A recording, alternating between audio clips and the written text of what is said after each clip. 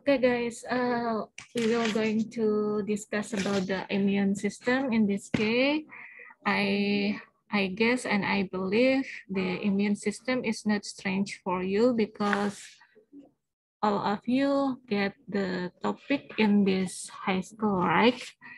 Okay, uh, before we discuss or we talk about the immune system, uh, we must know the immune system is a complex network of cells and protein that defends the body against infection. Uh, the immune system keeps a record of every germ or microbe, and then uh, it has ever divided so it can recognize and destroy the microbes microbe quickly if it enters the body against. Uh, okay, I will talk tell you about this definition. Before we, we talk about the immunity, we must know about the, what about the immunity? The immunity is the body's ability to protect itself by retaining or removing foreign or abnormal object. Uh, jadi apa ya kekebalan tubuh itu merupakan kemampuan tubuh untuk melindungi dirinya sendiri dengan menahan atau mengeluarkan benda asing atau abnormal. And and then uh, what is the immune response? Immune response is coordinated collection of responses to foreign substances. Dan sedangkan kalau respon imun itu adalah kumpulan tanggapan terkoordinasi terhadap zat asing yang masuk ke dalam tubuh.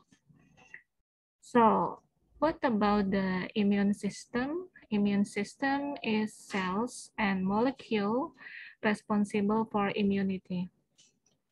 Uh, uh, after we know about the terms, uh, we must to conclude uh, what is the immunology.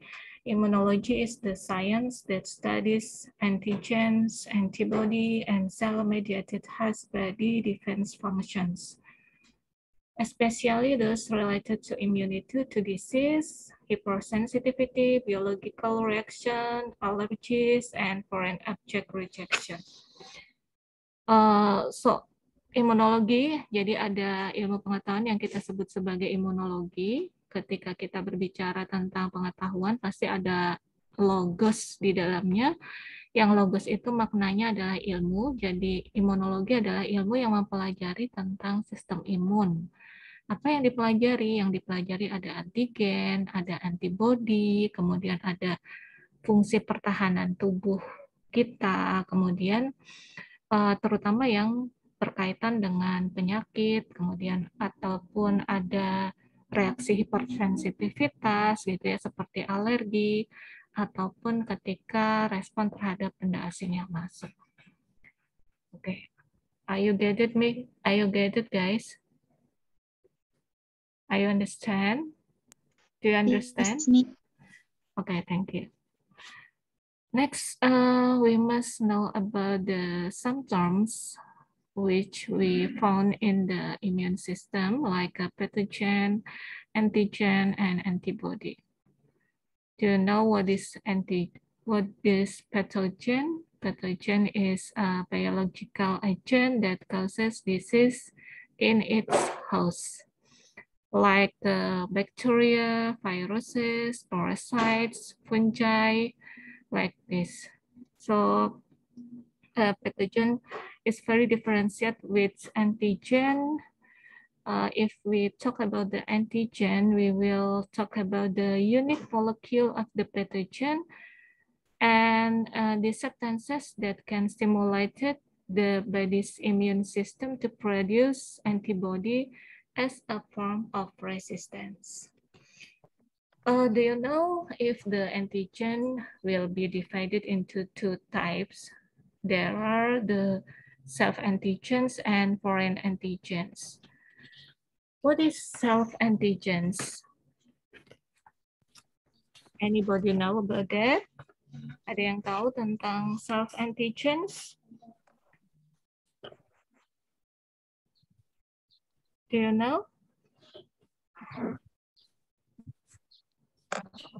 Not miss. Okay. Self-antigen is any molecule or chemical group of an organism which adds an antigen in inducing formation in another organism. Uh, so the uh, self-antigen is is uh, self-antigen must be have in in every cells in our body but uh, different. It's very differentiated with the foreign antigens. If we talk about the foreign antigen, foreign antigen is the antigen which have uh, whose have for the bacteria, germs, or microbe. Jadi uh, kita kalau bicara patogen sama antigen tuh beda banget gitu ya. Kalau antigen itu adalah uh, agen biologis yang menyebabkan penyakit gitu. Nah, agen biologis yang menyebabkan penyakit itu bisa dari berbagai macam kuman, ada bakteri, kemudian ada virus gitu, virus, kemudian kita berbicara parasit, parasit itu ada plasmodium, nyamuk, kemudian ada cacing ya, worms, dan ada jamur. Gitu. Sedangkan kalau misalnya kita berbicara tentang antigen, antigen itu adalah molekul unik yang dimiliki ada dari sebuah patogen. Gitu. Nah, eh, antigen ini merupakan zat yang dapat merangsang kekebalan sistem kekebalan tubuh untuk menghasilkan antibodi sebagai bentuk resistensi eh, terhadap resistensi terhadap benda asing yang masuk gitu. Jadi ketika kita bicara tentang antigen, sesungguhnya antigen itu terbagi menjadi dua, yaitu antigen yang dimiliki oleh sel itu sendiri dan antigen yang dimiliki oleh benda asing. Jadi di dalam tubuh kita setiap sel itu juga memiliki antigen gitu. Antigennya di dalam sel itu dia uh, berfungsi untuk apa ya? Nah, tetapi tubuh punya punya pertahanan tubuh terhadap antigen antigen yang dimiliki oleh sel itu sendiri gitu. Jadi antigen yang dimiliki oleh sel itu relatif aman dibandingkan antigen yang berasal dari luar. Karena kalau antigen yang berasal dari luar itu adalah antigen asing, sehingga perlu uh, detektor dari sistem imun untuk mengetahui apakah ini berbahaya atau tidak. Sedangkan kalau antigen yang dimiliki oleh sel di dalam tubuh kita itu dia tidak berbahaya. Okay, uh, and how about the antibody? Antibody is a large Y-shaped protein used by the immune system to identify and neutralize foreign substances such as pathogenic bacteria and viruses. Gitu. Nah, ketika kita udah tahu tentang antigen, kita tahu tentang antibody, eh, tentang patogen, maka kita juga harus tahu tentang apa itu antibody, gitu ya. Antibody itu adalah protein lagi yang dia itu punya bentuk Y, bentuknya Y, seperti huruf Y, yang digunakan oleh sistem kekebalan tubuh kita untuk mengidentifikasi dan menetralkan zat asing yang masuk ke dalam tubuh seperti kuman, gitu, seperti bakteri, seperti virus. Uh, is it clear for you or not? Guys, are you still here? Yes, Miss. Yes, Miss. Is it clear for you? Jelas yes, Miss. Okay, thank you. Jelas, Miss. If uh, if you have uh, some question, you can ask me in room chat or you can cut off my explanation, right? Okay. Yes, Thank you. Uh, next, we will discuss about the protective mechanism of immune the immune system protect us, uh, the function, the main function of immune system is to protect us, our body or protect our body against infection organism. Uh, actually, in this world, we know about the many, many kinds of pathogens. Uh, there are like uh, virus, bacteria, fungus, and parasites. Uh, the first critical barrier to infectious disease are the skin and the mucosal epithelia of the gastrointestinal, respiratory, and urogenital tracts. So, uh, the penjelasannya adalah, uh, jadi fungsi utama dari sistem imun itu adalah untuk menahan ya, melindungi atau menahan tubuh kita atau melindungi tubuh kita dari organisme-organisme yang menyebabkan infeksi.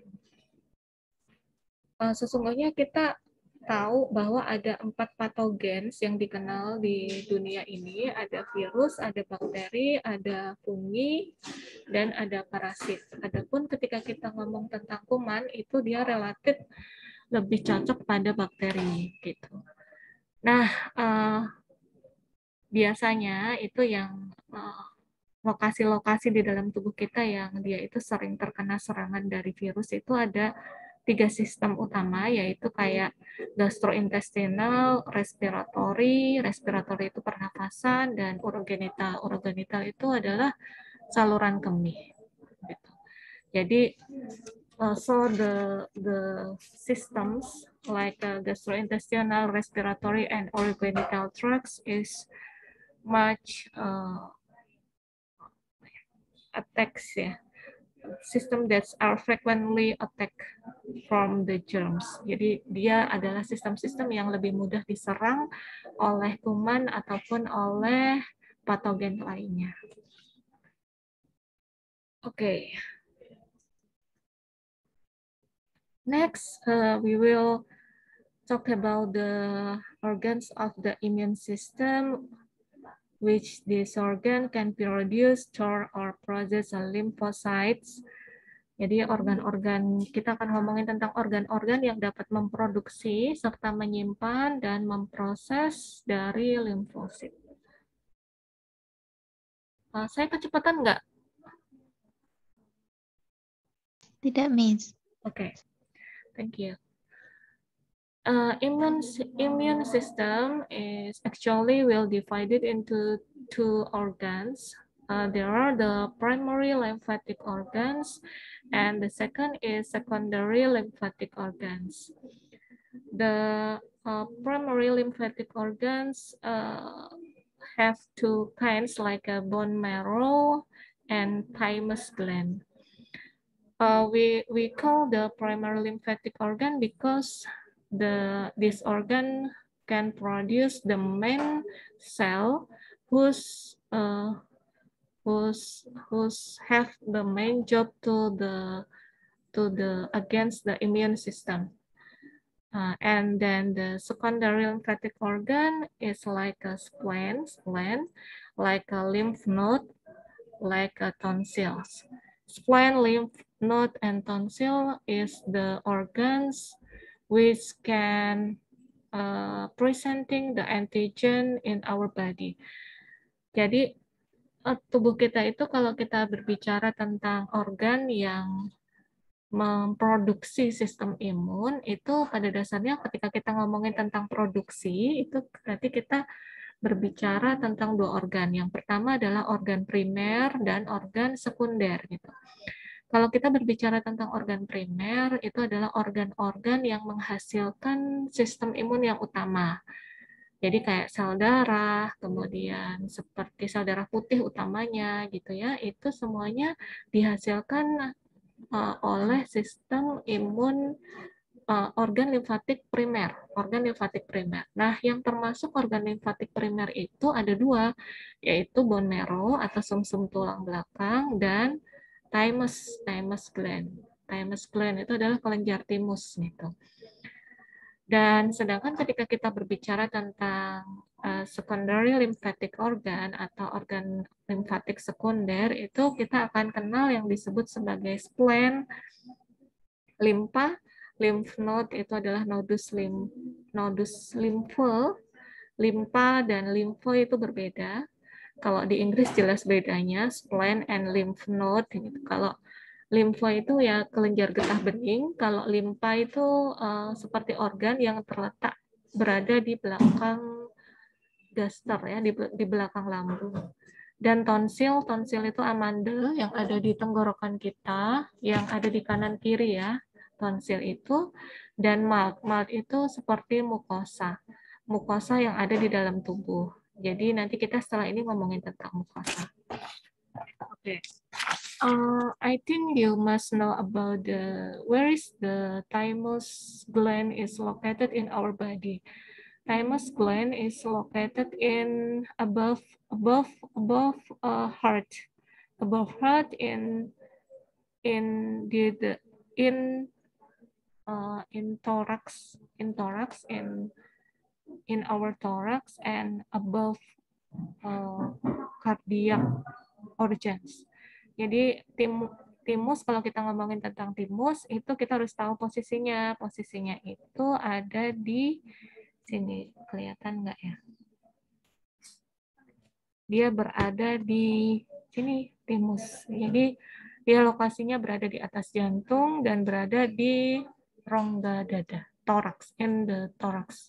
Jadi thorax, thorax means rongga dada. Do you get it? Ngerti nggak? Do you understand? Hi guys, do you understand? Yes, Miss. Yes, Miss. Thank you, thank you.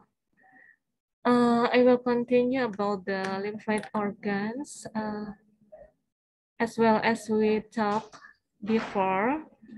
Primary lymphoid organs have the main function to differentiate to differentiation, to proliferation, and to maturation of B and T cells. But uh, if we talk about the secondary lymphoid organs, so the secondary lymphoid organs have uh, a main job too, like a differentiate, differentiation, proliferation, and presenting antigen. This is a main differentiate about the primary lymphoid organ and secondary lymphoid organ. So the secondary lymphoid organ have a main main main main job to presenting antigen.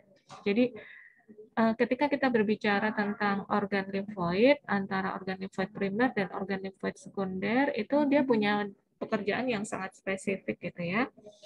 Organ limfoid primer itu dia lebih pada pematangan, pembentukan dari sel B dan sel T.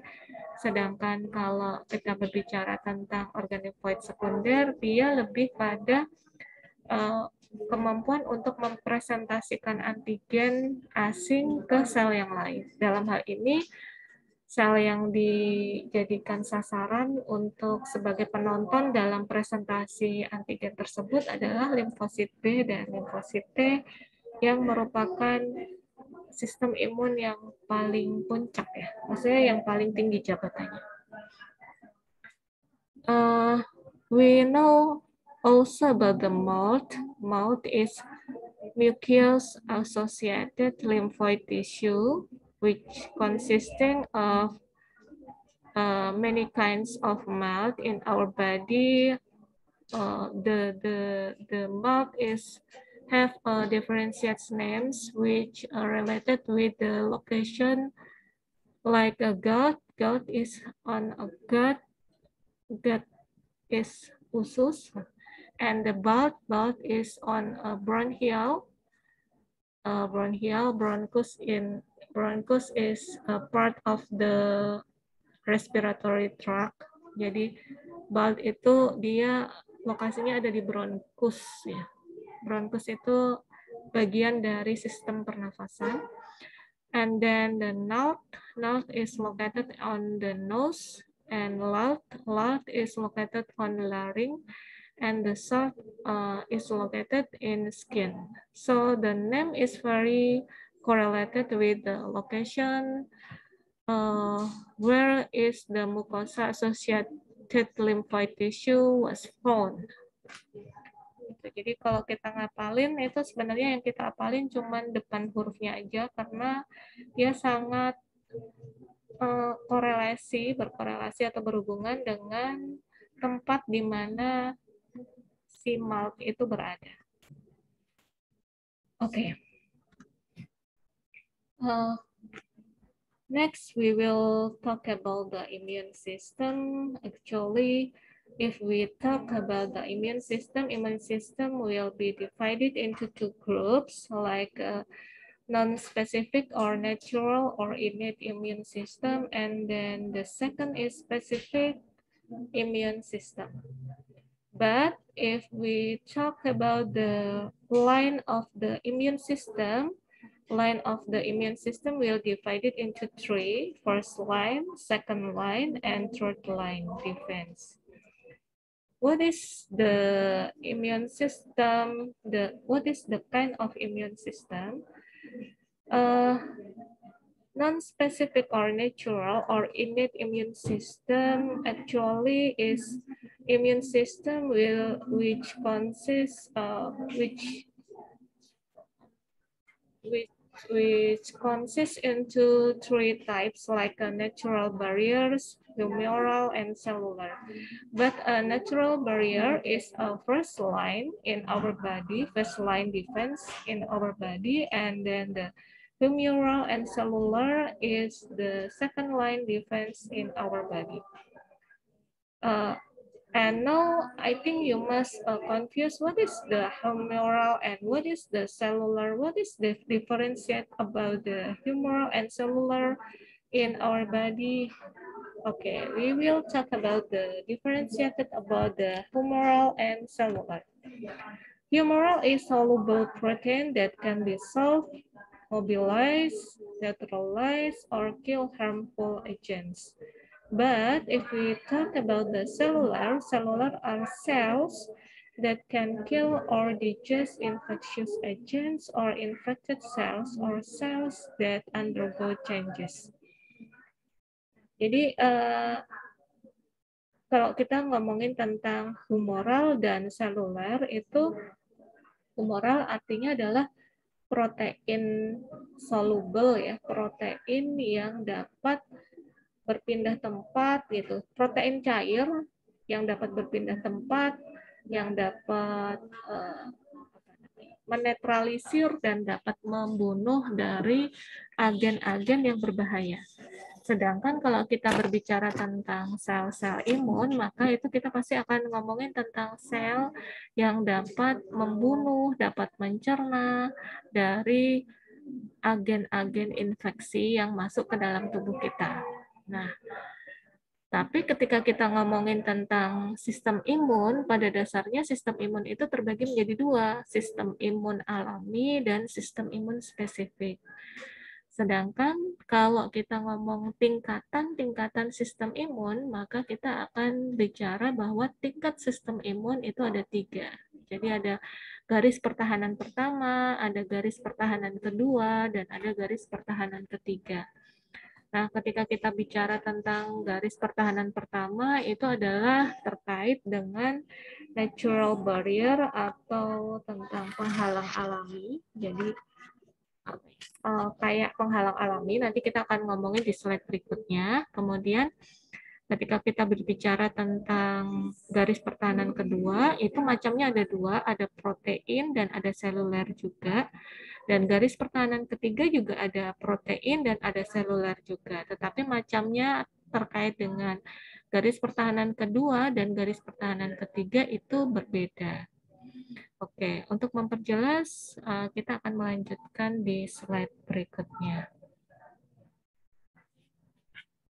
Uh, please look at the picture in this slide. Uh, jadi, kalau kita ngeliatin gambar ini, kita akan bisa melihat perbedaan antara tingkat pertahanan imun pertama, kedua, dan ketiga. In this, uh, in the left side, This is uh, anatomical, anatomical and physiological barriers uh, included of the first line defense. So the anatomical and physical, physical, physiological barrier consists of the intact skin and then uh, ciliary and then low stomach pH and the lysosome, inters, and salivary uh, ciliary. Ciliary means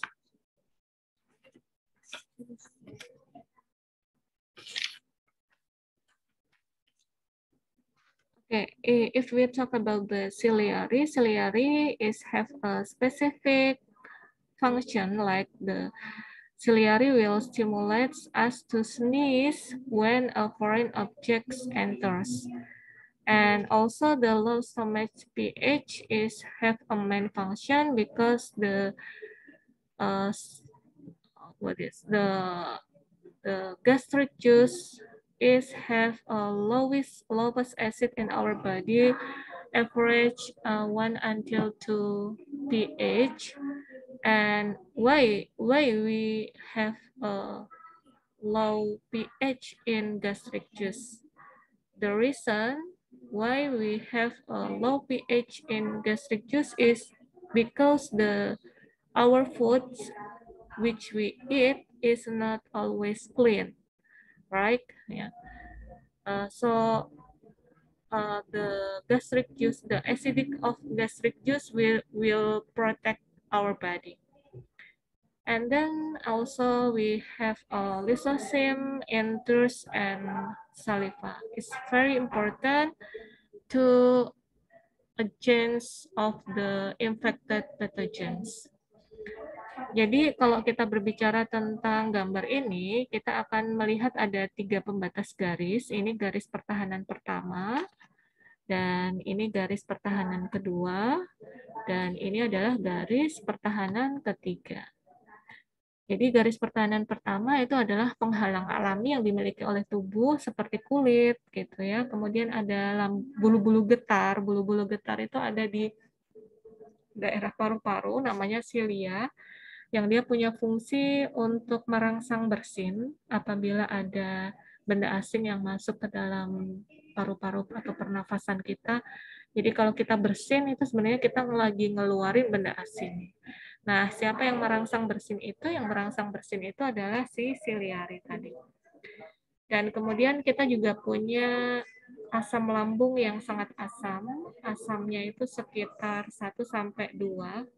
Jadi ada sekitar 1 sampai 2 asam lambung gitu ya, yang sangat asam. Dan keasaman ini itu penting karena kenapa? Karena kita itu makan makanan yang tidak selalu steril gitu.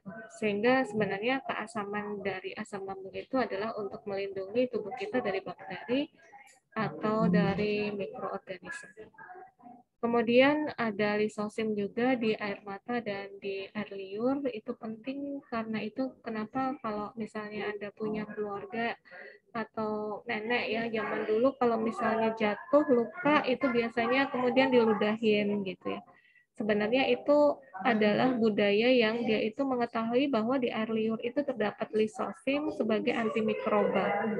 Jadi harapannya itu supaya tidak terjadi infeksi yang berlebihan di dalam tubuh. Okay, next we we will talk about the second line defense. Uh, second line defense is called the innate immunity uh, in some literature, in some references, uh, also what also talk about the innate immune system. The innate immune system has divided into the anatomical and physiological barrier and also the second line. So the first line defense and second line defense included on innate immunity. Okay, uh, innate immunity uh, consists of cellular and humoral, humoral, humoral. In on cellulars, uh, have many kinds like the natural killer cell, neutrophil, eosinophil, macrophages, and then mast cell, also dendritic cells. But if we talk about the humoral, Humoral is a protein, soluble protein, which have a main function to protect our body from the pathogens. So the humoral, which consists of complement, manus binding lectin, antimicrobial peptide, LPS binding protein, and C-reactive proteins. Okay, and the last for adaptive immunity is the is the third line defense, uh, which consists of the cellular and humoral. And then if we talk about the cellular in the third line defense is uh, we talk about the C cell and B cell. T cell and B cell is included of lymphocytes. And if we talk about the humoral in third line defense or adaptive immunity, just only we talk about the antibody. Okay. Is it clear for you guys? Or are you confused? Um, Miss, can you repeat uh, T cell and B cell? Okay. Uh, if we talk about the third line defense, it's called uh, adaptive immunity. Uh, adaptive immunity consists of two, two cellulars and humoral. And if we talk about the cellular in third line defense, we must know about T cells and B cell lymphocytes. Actually, T cells and B cells uh, was born on the were born on the bone marrow, but the B cells uh, just born in bone marrow, and then the maturation is also in bone marrow. But if we talk about the T cell lymphocyte, we know T is means a thymus. So the T cells lymphocyte was born in the the bone marrow, but the maturation of the T cells is on a thymus gland. Jadi kalau kita berbicara tentang sistem adat imunitas adaptif atau sistem imun pertahanan ketiga itu terdiri dari seluler dan humoral kan. Jadi kalau kita berbicara tentang sistem pertahanan tubuh seluler yang di sistem pertahanan imun ketiga itu kita pasti akan ngomongin tentang limfosit. Nah, limfosit itu ada dua, limfosit B dan limfosit T.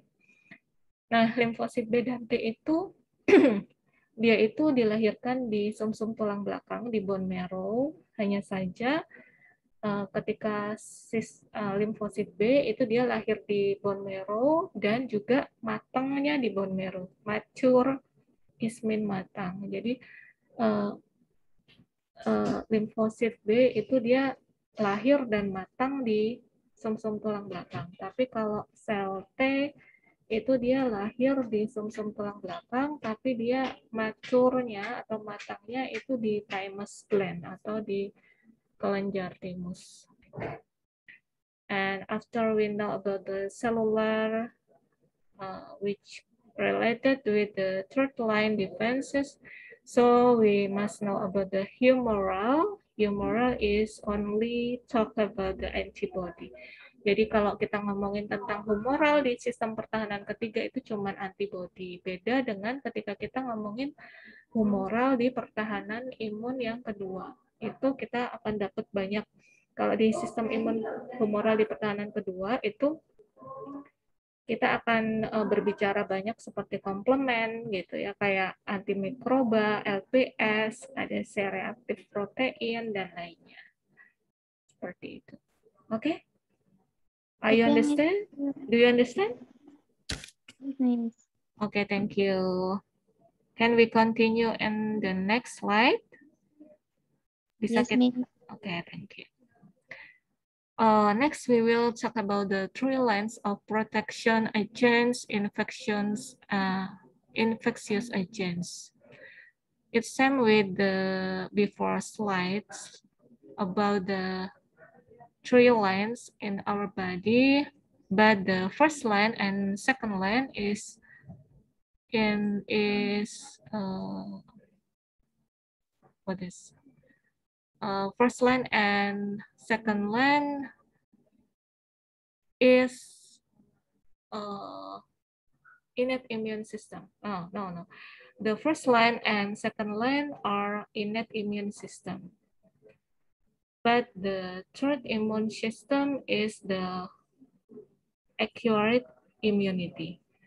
Jadi kalau yang pertahanan garis pertama dan pertahanan garis kedua itu masuk di sistem imun alami. Sedangkan kalau yang pertahanan imun yang ketiga itu masuk dalam sistem pertahanan imun yang spesifik. Oke. Okay. Uh, it's same with the before slide. Okay, and then we will talk about the explanation of the first line defense. So the first line defense consists of skin, mucous membranes, and secretion. And then the skin have a main function to barrier to pathogens because in our skins have uh, a sebaceous or oil and sweat gland which secrete the lysozyme which destroy bacteria the pH of the sebaceous and sweat glands in our body approximately 3 until 5. So it's very acidic. Oke okay, ya, jadi uh, pertama yang jadi garis pertahanan imun yang pertama itu adalah kulit. Nah, di kulit itu dia sebagai penghalang dari patogen. Kenapa dia sebagai penghalang? Karena di kulit itu dia punya kelenjar minyak serta kelenjar keringat ya di mana kelenjar minyak dan kelenjar keringat itu uh, terdapat atau mampu mensekresikan lisosin. Uh, lisosin itu dia merupakan antimikroba sehingga dia bisa membuat bakteri itu mati. Kenapa dia bisa membuat bakteri mati? Karena lisosin di kelenjar minyak maupun di kelenjar keringat yang ada di kulit itu dia memiliki pH yang asam sekitar 3 sampai 5. And then the next is mucous membrane. The mucous membrane is the line of the respiratory, digestive, and urinary tracts. And the mucous membrane have mucus and cilia trap and expel pathogens. Jadi kalau kita berbicara tentang membran mukosa. Jadi membran mukosa itu adalah kayak apa ya lapisan yang melapisi saluran pernafasan, saluran pencernaan, saluran urinari. Dan cara kerjanya itu adalah karena dia menghasilkan lendir dan dia memiliki silia. Silia itu rambut-rambut atau bulu-bulu getar yang bisa membuat patogen itu terjebak, trap, and expel dan kemudian nanti diusir. Nah, diusirnya tadi ya macamnya bisa sneezing, bisa bersin ataupun yang lain. And the other hand is secretion. Secretion in our body like a stomach. Stomach have a gastric juice. Uh, gastric juice in our stomach have a lowest lowest pH in our body, approximately 1.2. It's very, very acidic. And then the other secretion in our saliva, tears, and mucus are contain lysozyme proteins. Jadi uh, tubuh kita juga punya sekresi-sekresi dari beberapa cairan yang itu sangat bermanfaat ya, seperti asam lambung gitu, pH-nya 2, or the mucus of vagina, vagina jadi mukus dari vagina dari alat kelamin wanita. It's very acidic, jadi sekitar 4 pH-nya di kelenjar kelamin pada wanita. Jadi lendir yang ada di vagina itu sekitar 4 pH-nya itu juga memiliki fungsi sebagai barrier pertahanan atau pertahanan pertama dari kuman yang masuk. Begitu juga ketika air liur, jadi air liur kita itu dia juga bisa mengusir kuman gitu. Kemudian air mata, misalnya kita kelilipan itu ada benda asing yang masuk, itu akan merangsang air mata keluar itu karena mengandung lisosin jadi dia membersihkan eh, benda-benda asing yang sekiranya itu berbahaya bagi tubuh kita. Oke. Okay. Uh, For the next, we will talk about the second line defense. Uh, if we talk about the second line defense is only activated if the first line fails. So if we if we talk about the second line defense, we must know about the TLR signaling. What is TLR signaling? Do you know? What is term about the TLR signaling, guys? Nobody knows? Hello. No, miss. No, yes. Guys, are you still with me? Yes, Miss. Okay. I'm afraid if you sleep. Hmm. No, miss. I Okay. Thank you, guys. Uh, TLR signaling is uh, TLRs means toll-like receptors. Toll-like receptors are a class of protein that play a key role in the innate immune system. Uh, what is the TLR's function? TLR function are class of pattern recognition receptors that initiated the innate immune response by sensing con conserved molecular patterns for early immune recognition of a pathogens. Jadi eh, ketika kita berbicara tentang toll-like receptor, TLR itu artinya adalah toll-like receptor ya. Jadi toll-like receptor itu adalah protein protein yang memainkan peran kunci dalam sistem kekebalan innate, innate immune system atau sistem kekebalan alami. Jadi kan tadi kan kita ngomongin sistem imun ada dua kan, innate immune system and acquired immune system. Jadi yang innate immune system itu pasti akan melibatkan TLR. TLR itu toll-like receptor adalah protein yang dia itu akan menginisiasi uh, pertahanan imun di kelas kedua ini. Jadi sel-sel itu akan aktif dengan sinyal yang dilepaskan oleh TLR. Uh, so TLR signaling is immune system cells have a signaling pathway that recognize components of pathogen such as uh, double-strand RNA from viruses or the flagellin protein found on bacteria flagellum.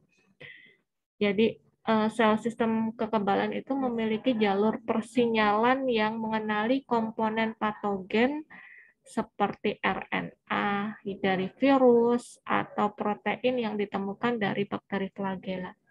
Jadi kalau ada virus, ada bakteri masuk ke dalam tubuh, nanti dikenali oleh sel-sel di sistem imun tingkat kedua yang dia masuk kategori dari sistem imun alami, sel-sel ini akan mengenalinya dan kemudian dia akan memancarkan sinyal, sinyal itu dipancarkan oleh protein TLR tadi. Toll-like receptors. Seperti itu. Oke. Okay. Uh, This is on the table of the right side. We know about the components of innate immune system. The For the barriers is the first line. And then uh, for the circulating effector cells, circulating effector proteins, and cytokines is the second line defense. Uh, actually, we we talk we talk too about the cytokine cytokine in this innate immune system, especially in second line defense. Uh, what is the what is the cytokines? I think the cytokine is very famous, right?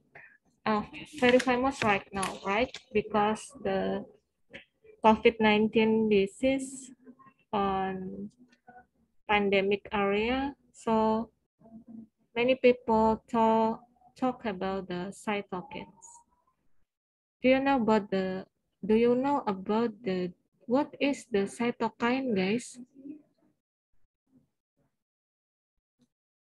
Anyone know about the definition of cytokines? Cytokine is what? Please.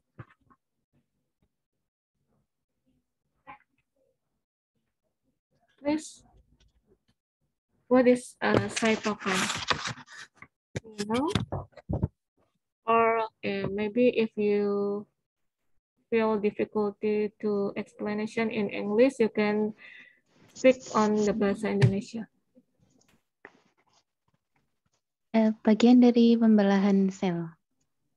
Uh, cytokines, uh, I think is uh, cytokine is not uh, is not bagian pembelahan sel. It's not a part of the mitosis. Uh, maybe the term is similarly, but it have a differentiated meaning.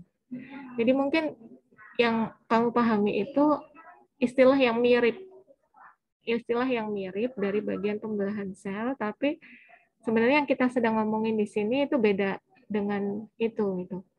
Ada memang bagian pembelahan sel itu yang namanya kayak mirip sitokin, tapi saya lupa ya termnya, istilahnya apa. But if we talk about the cytokine in the immune system, uh, we talk about the small proteins that are crucial in controlling the growth and activity of other immune system cells and blood cells. When cytokine release, they signal the immune system to do its job. So the cytokines affect the growth of all blood cell and other cells that help the body's immune and inflammation responses. Jadi kalau kita berbicara tentang sitokin, itu kita ngomongin tentang protein. Protein yang penting yang berfungsi untuk mengontrol sel. Uh, protein ini sebagai alat komunikator dengan sel-sel yang lain dan utama, utamanya dia berfungsi untuk merangsang respon-respon imun. Uh, for the example of the cytokine, cytokine like uh, TNF or interleukin or chemokines, there have a main function like uh, to to stimulate the inflammation and then like uh, this is interferon alpha or interferon gamma have a main function to resistance to viral infection. So every every cytokine have a specific function. Jadi setiap sitokin itu punya fungsi-fungsi tertentu. Sitokin itu ada ada ada berbagai macam gitu di dalam tubuh kita dan ingat sitokin itu dia berupa protein terlarut. Jadi dia itu protein kecil gitu ya sebagai alat komunikator satu sel dengan sel yang lain yang mana kalau dia teraktivasi jadi itu akan merangsang pada proses-proses sistem imun, proses-proses imunitas berikutnya. Kayak misalnya ketika kita dapatkan interleukin 1 itu di dalam tubuh tinggi, maka akan menginisiasi terjadinya inflamasi. Itulah kenapa ketika misalnya kita berbicara pada COVID-19, itu yang paling berbahaya adalah ketika muncul cytokine storm atau badai sitokin di mana sitokin-sitokin semuanya bermunculan yang mana semua sitokin ini punya fungsi sendiri-sendiri dan ketika uh, jumlahnya itu dalam jumlah yang banyak maka peradangan itu akan menjadi semakin banyak di dalam tubuh dan menyerang berbagai organ sehingga organ itu menjadi keberatan ya karena terlalu banyak proses sistem imun di dalam tubuh yang pada akhirnya nanti justru akan mem mempercepat kematian dari si pasien itu. Dalam kasus-kasus COVID-19 itu biasanya yang muncul adalah cytokine, cytokine storm atau badai sitokin. Oke, okay. um, are you get it, guys? Yes, Miss. Okay, thank you. Okay, uh, next we talk about the cellular innate immunity. Uh, cellular innate immunity um, usually called the phagocytes phagocytes is phagocytic uh, white blood cells. Uh, they are have attached to microbes or pathogens, and then after that they are ingest them, and then uh, they they they have a lysosome to destroy them.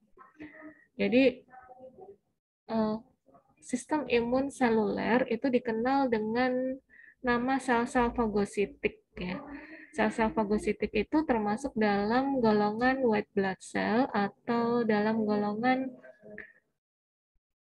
sel darah putih. Ya. Nah, cara kerjanya adalah dia akan melekat pada mikroba, like this, like on the picture in the right side. Jadi uh, dia akan menempel di mikroba. Setelah itu dia akan mencerna, ingest uh, they can ingest the pathogens and after that uh, the lysosome lysosome destroy them. Jadi akan mengeluarkan dalam sel kan pasti ada organela ya. Organelanya ada salah satunya disebut lysosome yang mana lisosom itu dia akan mengeluarkan zat yang mampu untuk merusak dari patogen atau mencacah-cacah dari patogen tersebut. So, uh, what kinds of the phagocytic of white blood cells in cellular innate immunities. There are neutrophils, macrophages, eosinophils, and dendritic cells. Every cells in innate immunity have a main job. Like neutrophils have a main job to engulf pathogens traveling in the blood on self-destruct, so the neutrophil can killing the pathogens. And macrophages or monocytes is have a main job to reset in tissues and organs and attach pathogens that enter or begin to infect. And the others is eosinophil have a main job to attack parasites and the dendritic cells have main job to attack like macrophages and stimulate acquired immunity or third line of defense. So they're very close with the lymphocytes. The dendritic cells very close with lymphocytes. Jadi uh, ketika kita berbicara sel-sel fagositik di dalam sistem imun alami atau sistem imun pertahanan kedua itu ada beberapa macam. Macamnya itu ada neutrofil gitu ya, kemudian ada makrofag, uh, kemudian ada eosinofil, kemudian ada juga sel dendritik. Yang mana neutrofil itu punya job utama adalah untuk me mencerna patogen dengan cara dia itu keliling-keliling kayak kayak patroli gitu ya, kayak patroli di darah. Dan kalau misalnya ketemu patogen, nanti dia akan menghancurkan patogen itu sekaligus dia menghancurkan dirinya sendiri. Jadi kalau selesai tugas, itu neutrofil itu akan harakiri. Harakiri itu kayak membunuh dirinya sendiri karena tugasnya udah selesai. Kemudian ada macrophages atau makrofag itu dia biasanya berada di jaringan atau organ-organ tertentu dan fungsinya adalah untuk uh, menyerang patogen yang masuk atau uh, patogen yang mulai menginfeksi. Biasanya lokasinya ada di paru-paru gitu, kemudian ada di pencernaan dan lain sebagainya. Kemudian sel lainnya adalah seperti eosinofil. Eosinofil itu fungsinya adalah untuk menyerang parasit. Parasit itu tadi saya sudah sebutkan kayak cacing, kayak nyamuk, kayak plasmodium itu adalah parasit. Kemudian ada sel dendritik. Sel dendritik itu dia berfungsi hampir mirip seperti makrofag dan juga dia berfungsi untuk uh, merangsang kekebalan di garis pertahanan ketiga. Jadi ketika dendritic cell itu mulai bekerja, maka sistem imun pertahanan ketiga yang melibatkan limfosit itu nanti akan teraktivasi. Oke. Uh, the other of the innate immunity is about the antimicrobial proteins, antimicrobial proteins whose have the cells which included on innate immune system, especially on the second line defense, antimicrobial proteins has a main function to impede pathogen reproduction. Kinds of the antimicrobial proteins like a complement system and interferon, uh, which is we know about the interferon is uh, one one of kinds of cytokines, and then the others is natural killer cell. Natural killer cell is the cell which have the main function to attack virus infected body cells and cancer cells. So the natural killer cells will can stimulate the apoptosis. Apoptosis is the programmed cell death. After uh, the second line of the immunity activated, so in our body have the response. The response is the fever. Fever is very important because if we fever, the fever will be stimulated, the will be stimulate uh, white blood cell production and tissue repair. Jadi ketika kita bicara tentang sistem imun alami yang lain di garis pertahanan kedua itu adalah protein antimikroba yang kita kenal dengan humoral tadi ya. Protein antimikroba itu dia berfungsi untuk menghambat dari reproduksi patogen. Jadi penting banget. Contohnya misalnya pada sistem komplement gitu ya. Sistem komplement itu dia akan resizes microbe, jadi akan melisiskan atau menghancurkan mikroba, serta dia juga akan uh, triggers the inflammation, gitu, mem memacu terjadinya peradangan. Peradangan itu very important, inflammation is very important. Dan juga antimicrobial protein itu seperti contohnya interferon, yang mana interferon itu sebenarnya masuk dari satu jenis sitokin, yang punya fungsi untuk menghambat reproduksi virus. Gitu. Dan juga ketika kita bicara tentang sistem imun alami itu nggak lepas dari NK cell atau natural killer cells yang utamanya dia akan berada banyak untuk menghambat terjadinya kanker, sel-sel kanker gitu. Selain juga dia mampu menyerang virus yang menginfeksi tubuh kita. Nah, apabila NK cell itu teraktivasi, sebenarnya NK cell ini akan merangsang proses apoptosis. Proses apoptosis itu adalah proses kematian sel yang terprogram secara alami, khususnya adalah kematian pada sel-sel yang dianggap berbahaya seperti sel kanker. Dan setelah semua sel yang ada di dalam sistem pertahanan imun kedua itu bereaksi, teraktivasi, begitu juga bagian yang humoral seperti protein antimikroba juga teraktivasi, maka kesemuanya itu akan memicu respon tubuh yaitu demam. Nah, ini demam ya, demam. Demam itu sebenarnya penting, makanya jangan buru-buru bagi kita itu untuk memberi paracetamol atau antipiretik penurun demam karena ketika ada demam itu sebenarnya akan menstimulus atau merangsang produksi dari sel darah putih serta berfungsi juga untuk memperbaiki jaringan. Jadi kapan kita akan memberikan obat pada seorang pasien yang demam?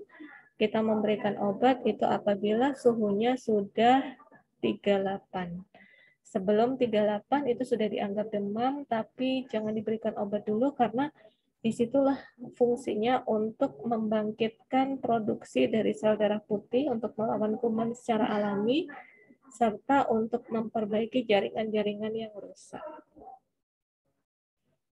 Oke okay, guys, until here, any question for this topic? Any question? Not yet? Not yet, Miss. Okay. Uh, And the next, we will talk about the inflammatory response. Inflammatory response is the response which held if the second line defense activated. So the inflammatory response have uh, many steps. These steps are the first, skin is punctured and pathogens enters. Jadi tahapan dari respon inflamasi atau respon peradangan itu ada beberapa. Yang pertama adalah ketika kulit kita terluka dan pas ini ya contohnya adalah ketika kulit kita itu terluka dan kemudian patogen itu masuk. Ini adalah contohnya jarum, peniti atau jarum gitu. Ini adalah contohnya kulit kita. Kemarin Anda sudah belajar, teman-teman sudah belajar bersama Bu Lutfi tentang skin anatomy uh, if the skin was injured, so the pathogen will be entered. Jadi kalau misalkan kulitnya terluka, maka patogen itu akan mudah masuk. In our body have mast cell. Uh, if you remember, mast cells is include of the cellular in second line defense. Cell in connective tissue will release histamine, increasing permeability and dilation of capillaries to injury site. Jadi eh, di dalam tubuh itu akan ada yang disebut sebagai mast cell, sel mas. Sel mas itu masuk pertahanan tubuh yang kedua. Kalau teman-teman ingat, itu dilihat di diagram di slide sebelumnya sel mast itu nanti ketika ada patogen yang masuk, dia akan teraktivasi dan kemudian sel mast ini akan melepaskan histamin. Histamin ini nanti akan meningkatkan permeabilitas. Permeabilitas masih ingat ya ketika kita berbicara tentang bioelectricity, permeabilitas adalah kerapatan dari dinding-dinding sel. Dalam hal ini, peningkatan permeabilitasnya adalah pada pembuluh darah. Jadi pembuluh darahnya akan menjadi tidak rapat, serta kemudian ada dilasi. Dilasi itu dia pembuluh darahnya akan melebar di daerah pembuluh darah di daerah yang mengalami injury atau yang mengalami luka tadi. Jadi adanya histamin yang dikeluarkan oleh sel mas itu akan merangsang pelebaran pembuluh darah, serta merangsang eh, permeabilitas, peningkatan permeabilitas dari kapiler darah atau pembuluh darah. For the third, uh, the white blood cells and blood clotting factors move from the blood to the infection. Untuk yang tahap ketiga, ini sel darah putih dan faktor-faktor pembekuan darah itu akan menuju ke daerah yang terkena infeksi. And then for the next blood forms escape. Jadi nanti akan terbentuk uh, formasi clot atau pembekuan darah yang dia akan berubah menjadi keropeng. Gitu. And the five, uh, neutrophils and macrophages attach pathogens. Jadi setelah itu nanti akan ada sel-sel neutrofil dan sel-sel makrofag yang akan melawan dari patogen itu dan setelahnya sel darah putih release chemokines with which attract more phagocytes to attack the pathogens and this is the positive feedback. Jadi setelah itu kemudian sel darah putih akan melepaskan chemokine yang mana kemokain ini akan menarik ya dari sel-sel fagositik untuk melawan melawan patogen tersebut dan itu merupakan feedback yang positif.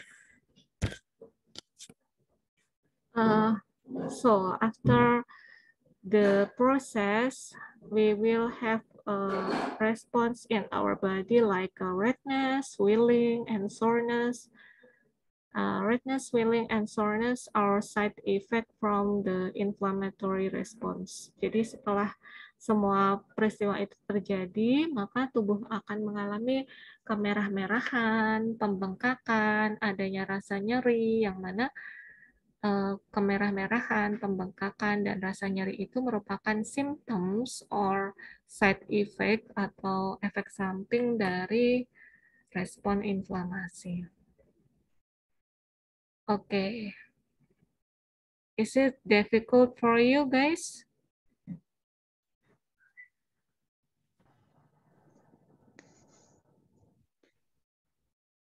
Hello guys, is it difficult for you or not? Ini sulit nggak buat Anda? Atau biasa aja? So-so gitu. Agak miss. Agak. Oke. Okay. Um,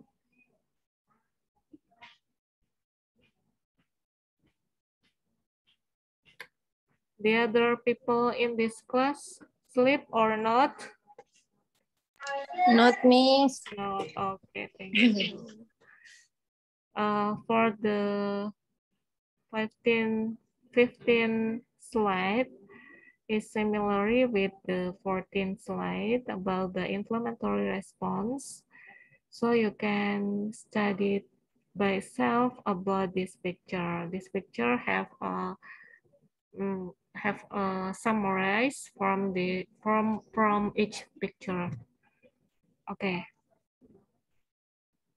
Jadi untuk yang slide ke-15 Anda bisa belajar sendiri ya. Ini sama penjelasannya dengan slide ke-14, cuman gambarnya dipisah-pisah, jadi nanti akan kelihatan perbedaannya itu di mana kayak gitu. Tapi prinsipnya sama.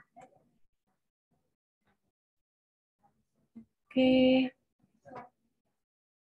Okay. Next we will talk about the comparison of adaptive and innate immunity. So please look at the table 1.3 about the comparison of adaptive and innate immunity. We have a four variables to differentiate the innate and adaptive, like a response time, specificity, and, oh, sorry, three. Uh, response time, specificity, and respond to repeat infection. So the innate immunity has uh, distinguished host cells from those of infection agents by recognizing constituent of microorganisms. And then uh, they can activate it within hours. And the phagocytize, phagocyt, phagocytize is a net, are neutrophils and macrophages. Jadi uh, kalau kita membedakan sistem imun alami dan sistem imun adaptif, gitu ya. Kalau sistem imun alami itu uh, dia hanya terjadi dalam beberapa jam saja. Dia melibatkan neutrofil dan makrofag, serta dia itu lokasinya hanya terbatas, tidak sistemik. Sistemik itu ke seluruh tubuh. Jadi kalau innate immune system itu hanya pada tempat tertentu. Contohnya misalkan Anda digigit, teman-teman digigit nyamuk, nah, itu adalah inflamasi yang melibatkan uh, second line immune system because if you uh, was biting for the mosquitoes, you will be feel uh, gatal ya, jadi akan merasa gatal. Gatal itu bagian dari rasa nyeri dan itu bagian dari respon imun. Jadi ketika digigit nyamuk itu sebenarnya sudah melibatkan sistem imun pertahanan pertama dan sistem imun pertahanan kedua. Kenapa? Karena pada saat nyamuk menggigit, nyamuk itu akan mengeluarkan toksinnya yang itu masuk ke dalam darah. Dan ketika dia sudah masuk ke dalam darah, maka itu sudah harus bertemu dengan sistem imun pertahanan kedua berupa sel-sel dan humoral. Nah, di situlah biasanya kalau misalnya kita digigit nyamuk kan juga gatalnya cuma terlokalisasi di area yang digigit saja merahnya juga cuma di area yang digigit, nyeri bentolnya juga cuma di area yang tergigit, jadi bersifat lokalik. Dan juga dia akan teraktivasi hanya dalam hitungan beberapa menit bahkan hanya dalam hitungan detik ya. Dan pokoknya hanya tidak sampai berhari-hari. Batasannya maksimal cuma jam.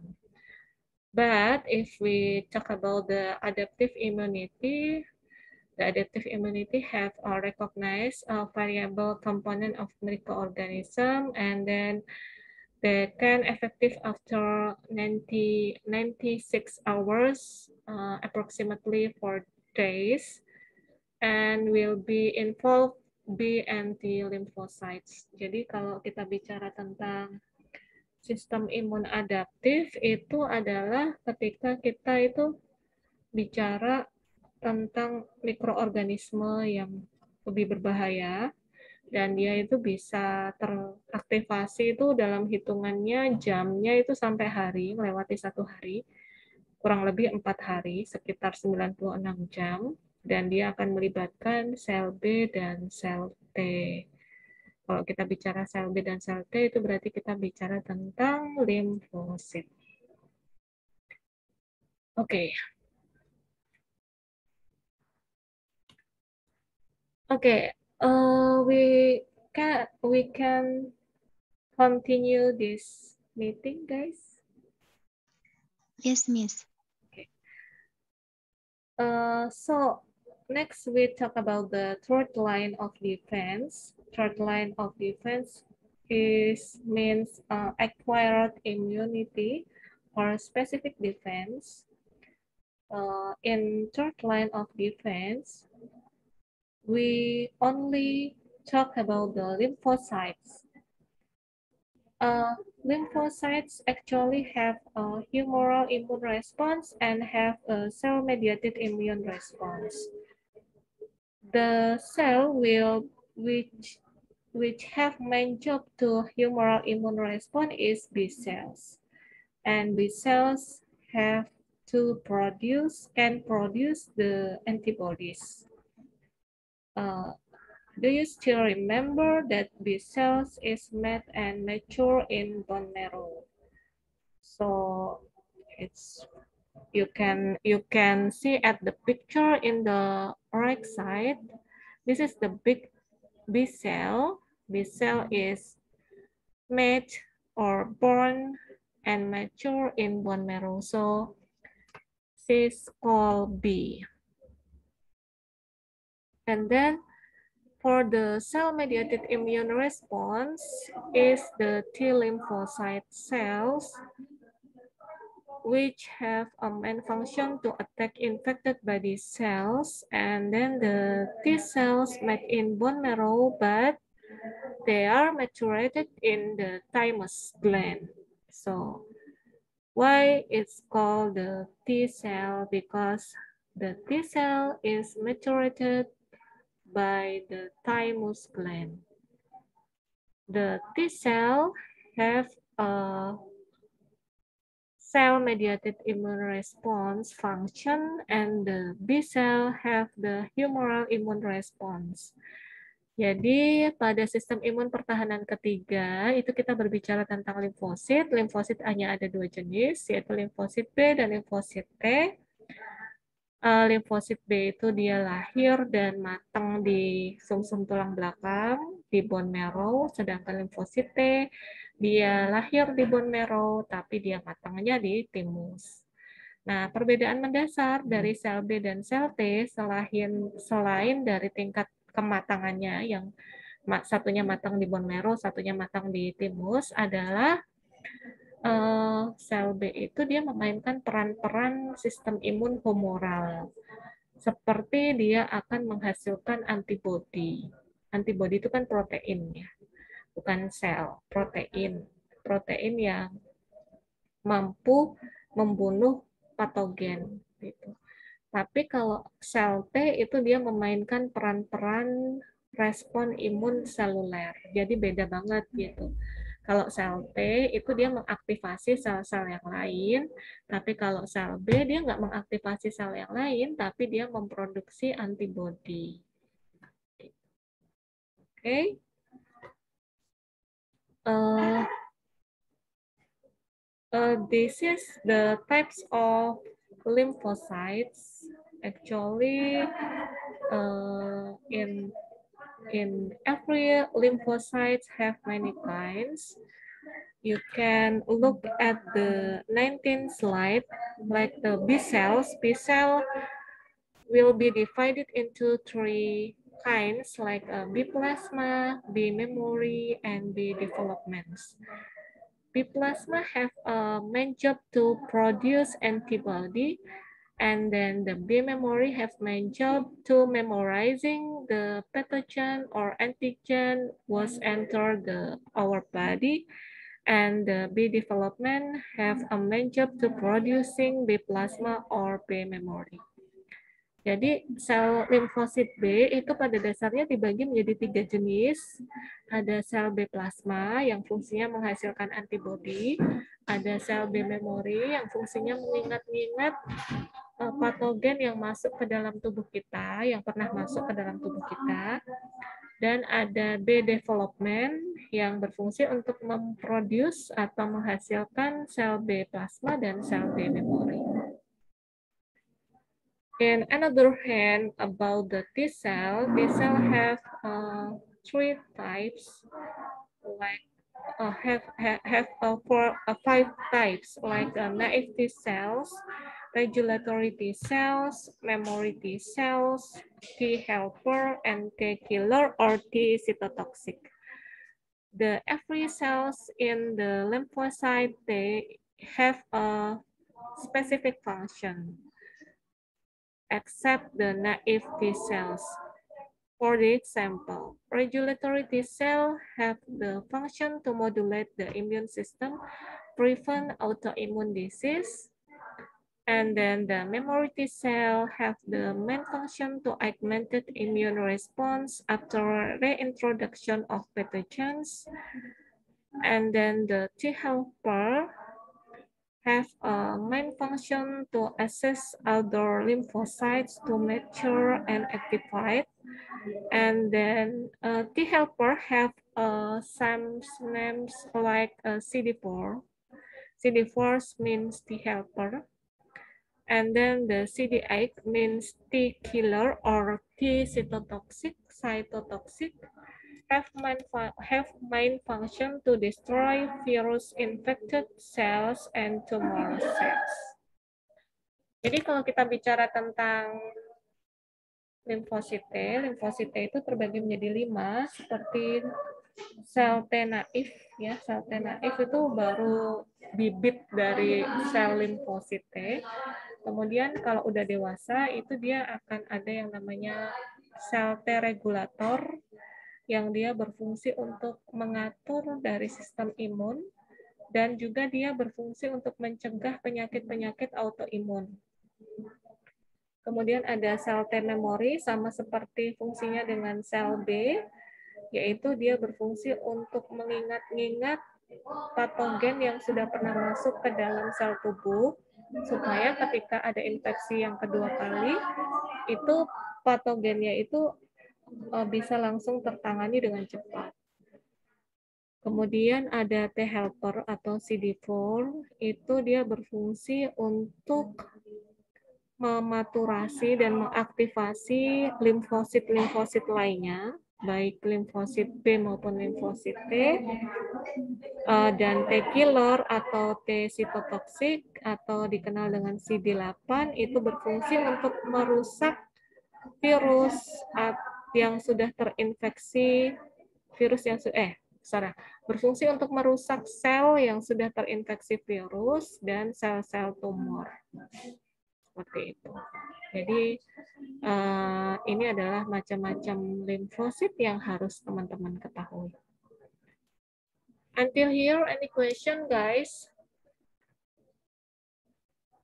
Are you get it? Apakah kamu paham? Ada pertanyaan?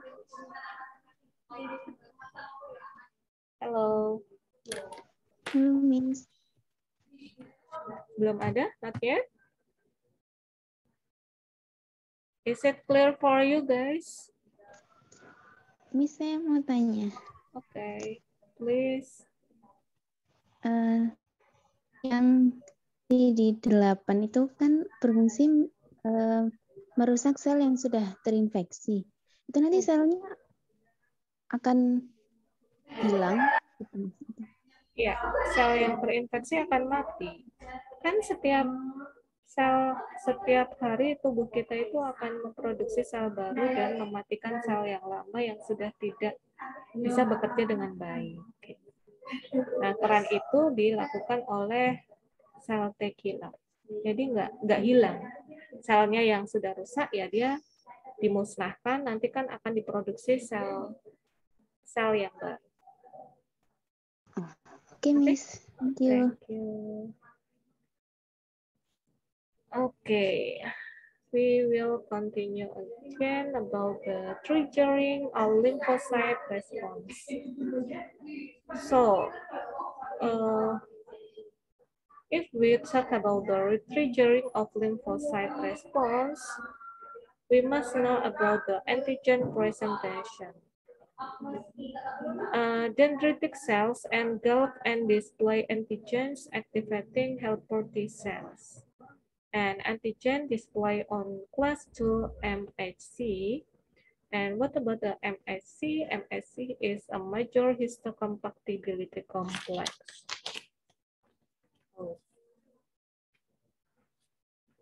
Sorry, my battery is low.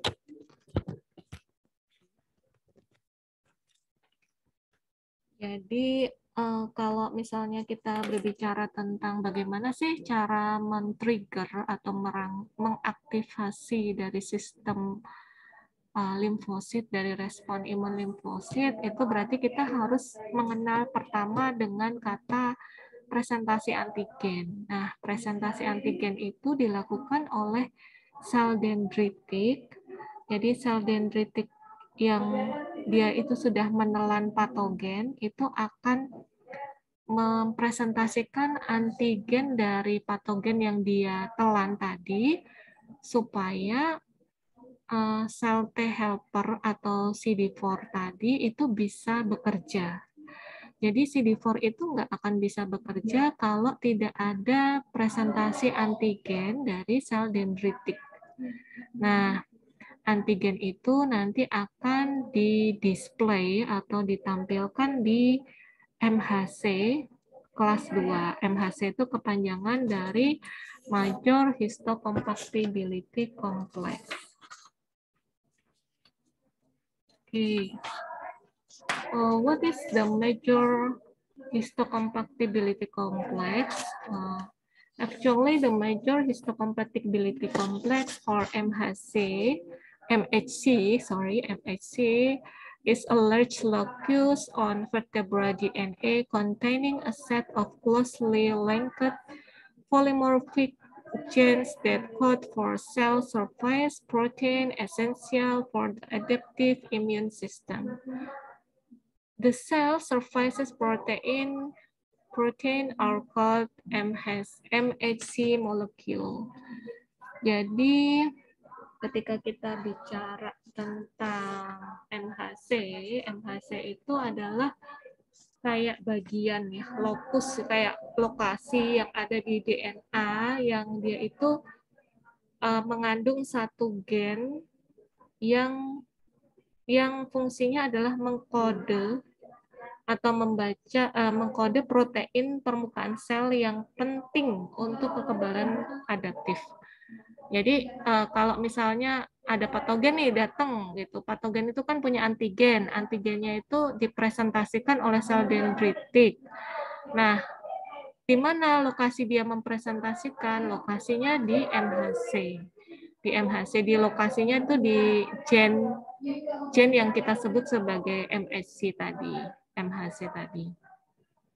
Nah, uh, after that, helper T cells activate B cells and secrete cytokines which activate a cytotoxic T cell, cytotoxic T cells. So, uh, setelah sel T helper mengaktifasi sel B dan mensekresi sitokin, maka uh, barulah kemudian limfosit itu bisa bekerja. Setelah dipresentasikan, nanti akan terjadi aktivasi dari sel T helper. Sel T helper akan mengaktifasi sel B dan juga akan merangsang munculnya pelepasan sitokain uh, di mana sitok semuanya itu akan mengaktifasi dari sel T sitotoksik. For make your imagine to clear, you can look at the picture. This is the dendritic cells and this is the bacteria. If the dendritic cell engulf the bacteria, so the antigen of the bacteria will be presented on the surface of the dendritic cells. Uh, this is the MHC molecule that the MHC molecule is allocated to present the antigens. So if the antigen was be presented by the dendritic cells, so it can stimulate the T cell helper or CD4 to activate B cell and then to activate the cytokine, uh, which the cytokine can activate the cytotoxic T cells. If the B cell will be activated, so the humoral immunity can be active. And if the cell cytotoxic or T cell cytotoxic activated, so the cell-mediated immunity will be held. Okay.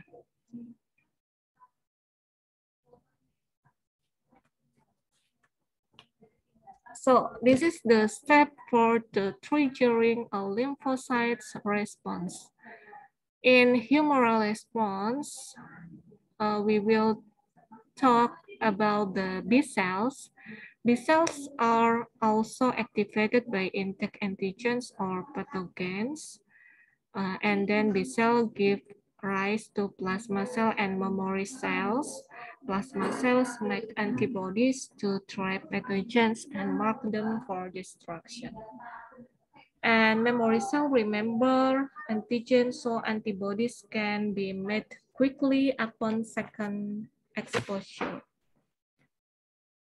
Uh, jadi kalau kita berbicara tentang sistem respon humoral yang diinisiasi atau dilakukan oleh sel B, sel B itu akan diaktifkan ketika ada presentasi antigen yang utuh. Gitu. Nah, ketika sel B itu aktif, maka dia akan menghasilkan sel plasma, B plasma, dan sel B memori di mana sel B plasma itu akan menghasilkan antibodi yang berfungsi untuk menjebak si patogen tersebut dan kemudian akan merusak patogen itu. Sedangkan sel memori berfungsi untuk mengingat-ingat, mengingat-ingat dari patogen yang pernah masuk ke dalam tubuh, sehingga ketika misalnya patogen itu akan masuk kembali pada sesi yang berikutnya, itu akan segera tertanggulangi dengan cepat. Uh, in the other hand, cell-mediated response or T cells have uh, several steps like uh, cytotoxic T cells are also activated by antigen displayed on infected body cells. So antigen will be displayed in class 1 PMHC. And then the cytotoxic T cells give rise to active cytotoxic T cells and memory cytotoxic T cells. And activated uh, cytotoxic T cells kill infected body cells, cancer cells, and transplant tissue. And same with the B cell, memory cytotoxic T cell will be remember the antigen, so infected cells can be killed quickly upon second exposure. Uh, jadi kalau kita bicara tentang sel T, sel T itu dia akan diaktifkan oleh antigen yang ditampilkan pada sel tubuh yang terinfeksi. Beda ya, kalau sel B itu dia teraktivasi, diaktifkan oleh uh, sel imun, sel imun tingkat kedua yang sudah memakan dari patogen itu, antigennya nanti akan dipresentasikan dan ditangkap oleh sel B. Tetapi kalau sel T itu dia justru akan diaktifasi oleh antigen yang sudah dipresentasikan oleh sel tubuh yang telah terinfeksi. Tapi sama antigen itu di display pada MHC kelas 1. Kemudian eh, dari aktivasi sel T sitotoksik itu akan mengaktifasi dari eh, sel T akan mengaktifkan sel T sitotoksik dan akan mengaktifkan sel T memori. Yang mana sel T sitotoksik tadi udah punya fungsi yaitu untuk membunuh dari sel-sel tubuh yang terinfeksi, sel-sel kanker ataupun jaringan transplantasi gitu. Kadang misalnya kadang ada organ yang ditransplantasi dan gagal itu dikarenakan kadang aktivasi dari sel T cytotoxic itu yang berlebihan. Dan justru itu normal sebenarnya. Jadi kalau pada orang-orang yang ditransplantasi itu biasanya justru dia harus uh, apa namanya meminum obat penekan dari aktivitas sel T cytotoxic. And then uh, sama seperti dari sel B memori, sel T memori juga berfungsi untuk mengingat-ingat antigen dan pada saat nanti ada infeksi yang kedua maka akan bisa tertanggulangi lebih cepat.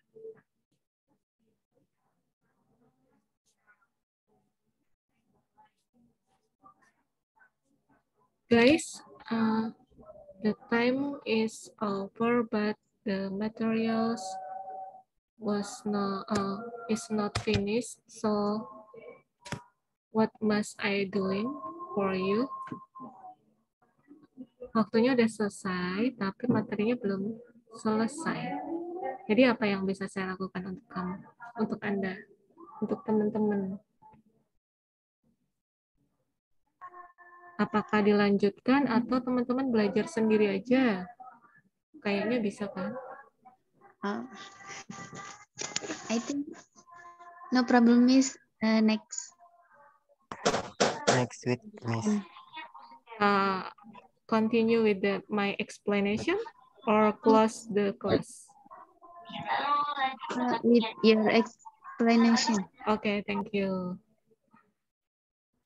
Okay, uh, this is the picture which will be explained about the helper T cells, if the helper T cells activated, so the helper T cell will be stimulated to B cell and will be stimulated to cytotoxic T cell. And for the B cells, can produce the plasma cell and plasma cell can produce or can secrete antibodies. Or the function of antibodies as well as we know to defend against extracellular pathogens. And then for the helper T cells, also can produce or can activate or can stimulate the memory helper T cells. So the memory helper T cells can stimulate the memory B cells. So if the infection was uh, will be will be held again in the second exposure, the response of the immune system system will be quick. And then the cytotoxic T cell will be uh, activated the active cytotoxic T cells. So the activated active cytotoxic T cell can be defend against intracellular pathogen and cancer. Jadi awal muasalnya semuanya itu diawali dengan APC. APC itu adalah antigen presenting cell yang dilakukan oleh dendritik. Nah, ketika APC ini diterima oleh CD4 atau T helper, maka nanti akan mengaktifasi sel B dan sel T sitotoksik. Nah, kalau sel B teraktivasi, nanti akan diproduksilah sel B plasma dan sel B plasma akan memproduksi antibodi. Tetapi kalau kemudian sel T sitotoksik yang teraktivasi, maka dia akan merangsang banyak sel T sitotoksik yang lainnya yang kemudian itu bisa melawan dari patogen ataupun kanker. Selain itu, sel T helper juga menginisiasi aktivasi dari sel T memori dan sel B memori yang berfungsi untuk memorizing atau mengingat-ingat tentang patogen yang pernah masuk ke dalam tubuh supaya pada saat patogen itu nanti masuk kedua kali atau ketiga kalinya akan diberikan respon yang jauh lebih cepat sehingga pasien tidak sakit terlalu lama. Oke. Okay. Uh, antigen recognition. Memory B cell anti cell recognize antigen by antigen specific receptors. Both have constant and variable regions. If you look at the picture on the right side, B cell receptors have a Y shape. This is the B cell receptor and this is the T cell receptors. The B cell receptors have uh, two identical heavy chain. This is the identical heavy chains. And have two identical like chains. This is the identical like chains. The cells set is very like with Y alphabets. Jadi mirip banget bentuknya dengan alfabet huruf Y. But if the T cell receptors have uh, two non-identical chains, if you look at the picture, you will be found about the antigen binding set. Antigen binding set is the antigen specific receptor. Jadi uh, di setiap limfosit B maupun limfosit T itu punya antigen binding set. Uh, ini merupakan bagian tempat berikatan dengan antigen. Gitu dan harus cocok harus benar-benar cocok kalau bentuknya beda sedikit aja itu nggak bisa jadi misalkan ada kuman nih kumannya itu eh, datang ya kumannya datang seperti huruf A. Kemudian ada lagi kuman yang datang pakai huruf seperti huruf A tapi dia pakai kacamata. Itu udah beda bentuknya. Jadi udah nggak bisa dikenali. Meskipun pada sebagian besar itu mirip tapi karena ada kacamatanya atau mungkin dia ganti rambut uh, tadinya catnya hitam kemudian jadi cat pink itu udah nggak bisa dideteksi oleh limfosit. Jadi limfosit itu bisa mendeteksi itu kalau benar-benar persis harus persis plok sama gitu. Persis plok sama dengan mm, patogen yang datang sebelumnya.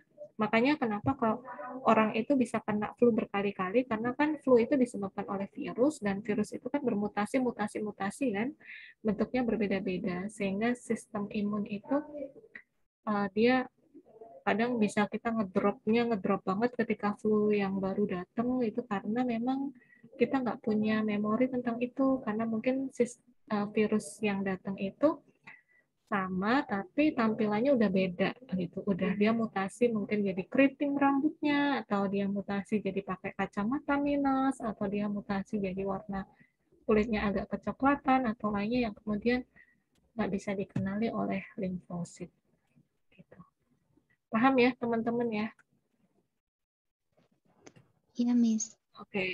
Uh, this is uh, for the sample if the antigen binding set must be very uh, suitable with the epitope antigen determinants. So, uh, apakah misalkan binding setnya itu dia bentuknya kayak gini, terus yang datang itu agak bulat kayak gini, udah nggak cocok, nggak bisa.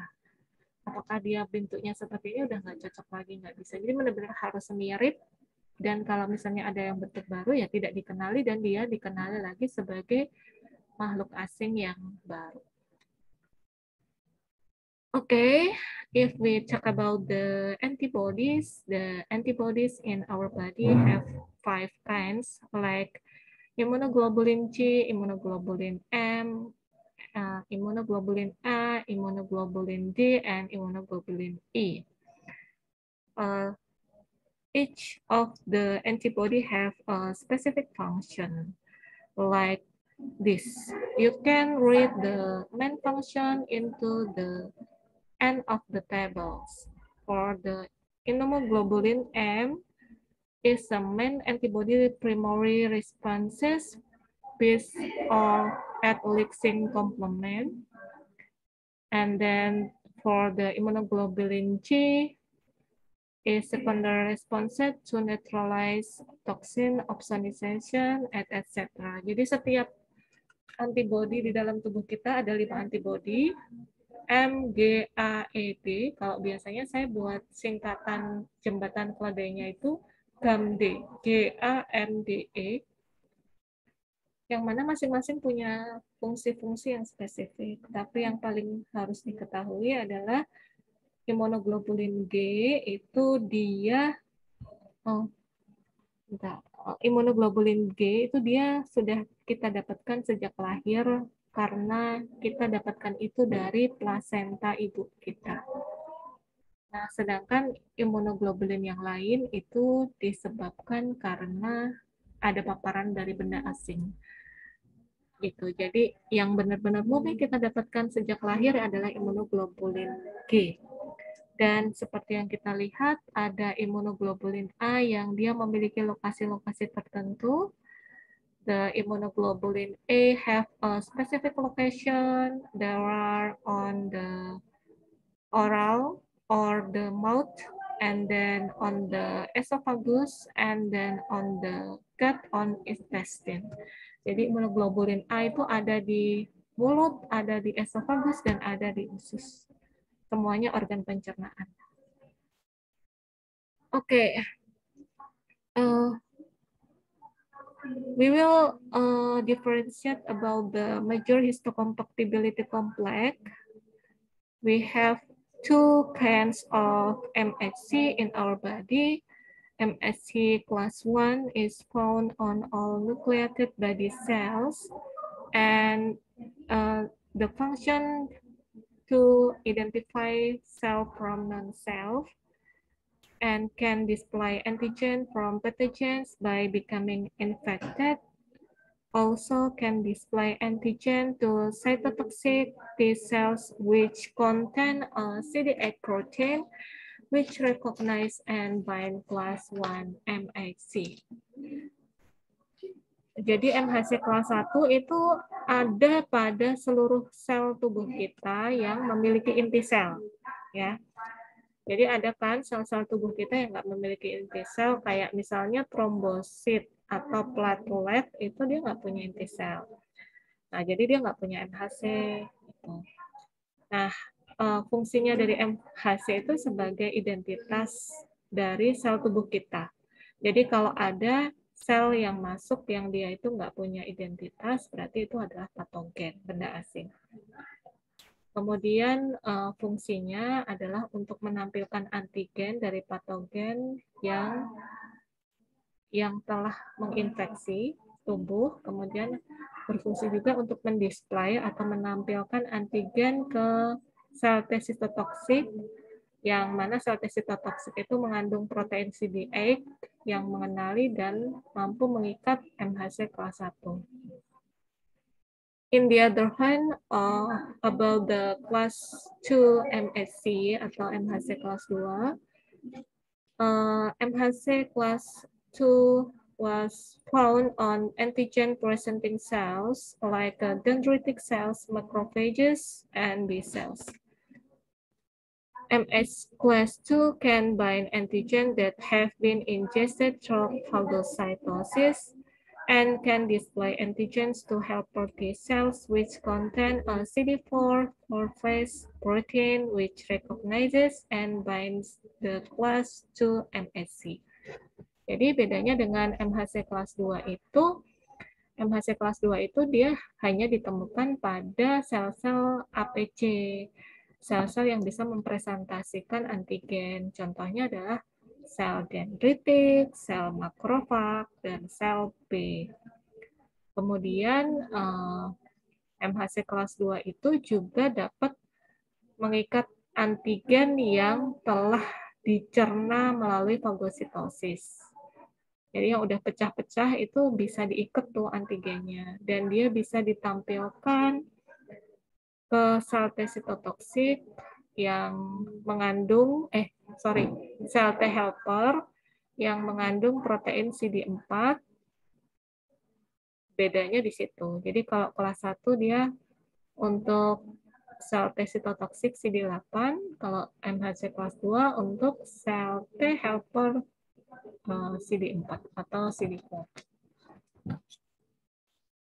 Okay, this is the picture about the MHC class 1 and MHC class 2. This is, you can know the differentiate about both of the MSC. This is the MSC class 1 molecule. And ini, uh, and the left side is, the right side is the MHC class 2 molecule. Okay.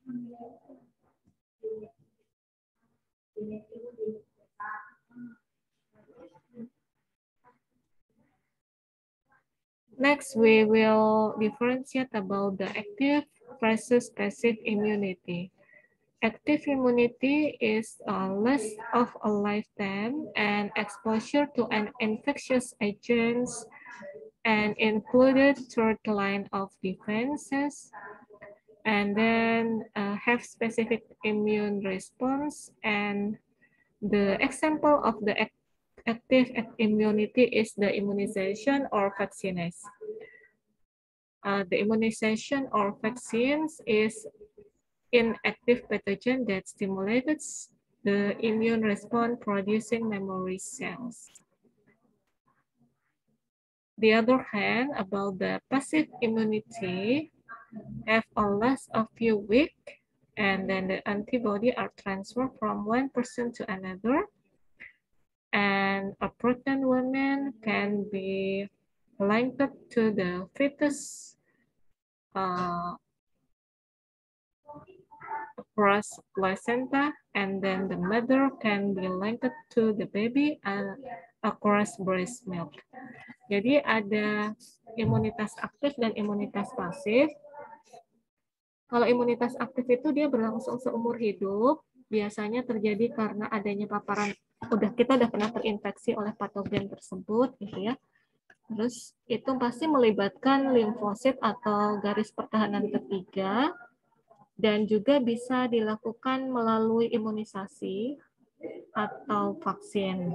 Nah, imunisasi itu kan e, memasukkan patogen yang sudah lemah ke dalam tubuh untuk merangsang memori dari sel B maupun sel T. Kemudian ada imunitas pasif. Imunitas pasif itu hanya berlangsung beberapa minggu. Antibodi itu bisa ditransfer dari satu orang ke orang lain.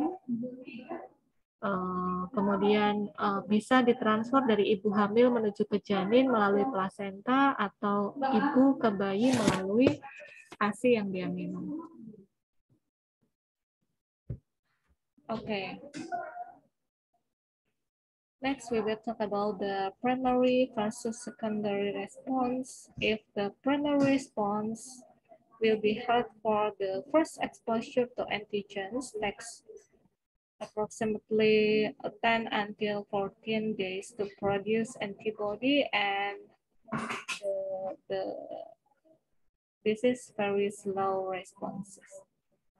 And the secondary response is a second or more exposure to the same antigen have memory cells produce antibody and the response is so quick. Jadi kalau respon sistem imun primer dan sekunder, kalau respon sistem imun primer itu adalah terjadi pada paparan pertama kali terjadinya infeksi, biasanya muncul sekitar 10 sampai 14 hari untuk bisa menghasilkan antibodi dan dia berlangsung secara lambat. Tapi kalau infeksi sekunder itu paparan berikutnya, kedua atau ketiga, setelah paparan pertama, kemudian dia melibatkan sel memori, sehingga dia mampu memproduksi antibodi yang pas dengan patogen tersebut dan reaksinya itu jauh lebih cepat. Oke. Okay. Uh, guys, I think it's enough for today. Uh, for the slide 31 until 34, 5 is just to the completely your knowledge. It's not the learning objective for this lecture. So uh, you can study by self. But if if you don't understand, you can discuss with me in other times. Okay. Uh, any question, guys, until here?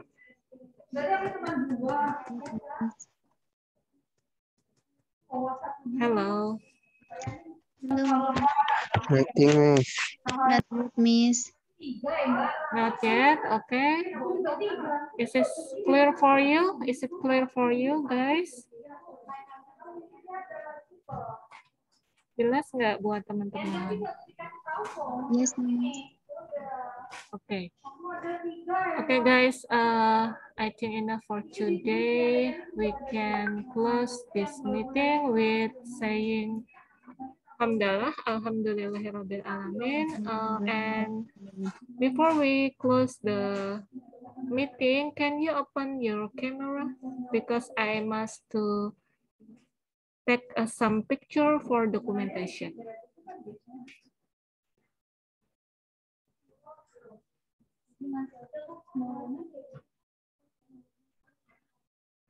Okay, can you, Emik, Kurnia, Siti Mariam, can you open your camera?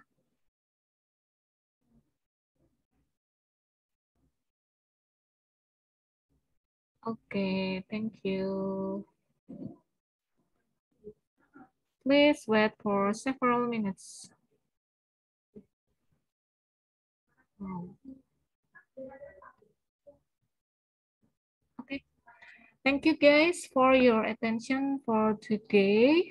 I hope the information can be can make uh, beneficial for you and can it's very very useful for you and for me. So we will close the meeting. Bye-bye. Assalamualaikum warahmatullahi wabarakatuh. Waalaikumsalam warahmatullahi wabarakatuh. Thank you, Miss. Thank you, Miss. Welcome. You're welcome. Thank you, Miss.